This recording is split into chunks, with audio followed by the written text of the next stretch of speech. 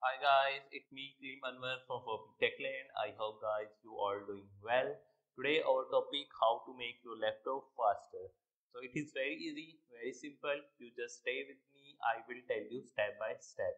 So first of all you go on the start button and just do click on start button and when you go to start button here you got the option of settings go to settings so when you go to settings, here you got the option of the first one option system, go to system.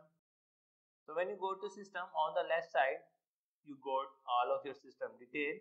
Here you just scroll down and at the very down side, the last option was about, click on it. So when you do that, here you got the option on the right side of your display. Here you got the option advanced system settings so go to advanced system settings. So when you go to advanced system settings, this type of box will appear in front of you. And here you got the option advanced hardware computer name system protect and remote. So here you go to settings. And in setting here you select the box according to your will. And again here you select adjust for best performance.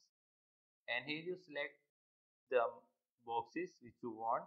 Like I select this this this also and this also. And then apply and then okay. So when I do that I just close it and then go back again to settings.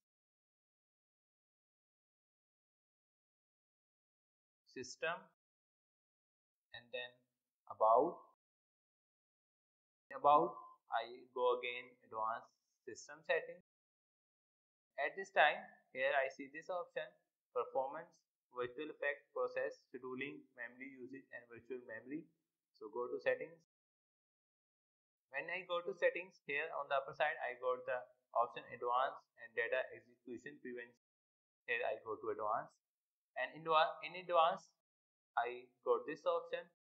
Here I can Make sure you select this option programs and then apply.